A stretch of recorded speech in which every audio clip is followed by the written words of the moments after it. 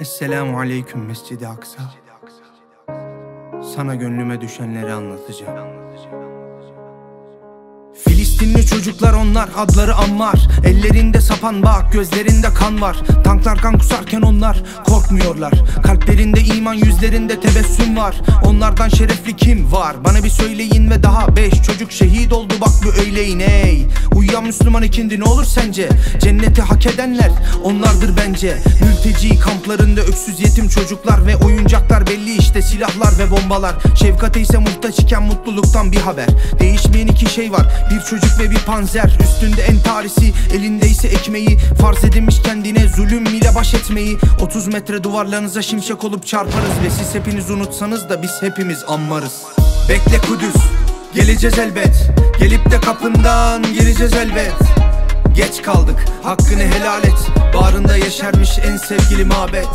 Bekle Aksa geleceğiz elbet. Gelip de alnından öpeceğiz elbet Geç kaldık. Hakkını helal et. Övüldün sen her zaman ey sevgili mabet Yediğimiz önümüzde yemediğimiz arkada. Adımız kalmış Müslüman bir ton para var bankada. Zulümlere kapalı gözler ama olmuş her biri. Din kardeşin sana değilse kime anlatsın derdini? Havuzlu villalarda kuş tüyünden yataklar Ve kalpleri de temizdir. Sorsan Rablerini ararlar. Gecenin bir yarısı Gazze bomba yağmuru. Gönül ağlar bir çare kalemim ise kan dolu. Osmanlı'nın torunları ne oldu sanki bizlere? Ecdat kalksa mezardan tükürmez mi yüzlere. Zulüm koca bir canavar. Misal kör bir testere. Uyursun tabi şimdi ucu değmez ki bizlere.